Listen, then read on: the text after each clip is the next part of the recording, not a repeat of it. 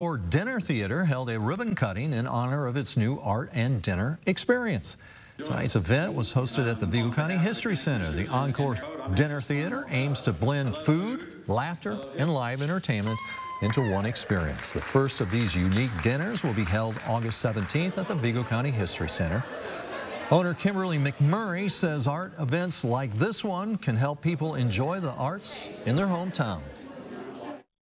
I am all about good people, good energy, keeping things positive and fun and inviting and beneficial. Art can be healing when it's done correctly, and that's what we want.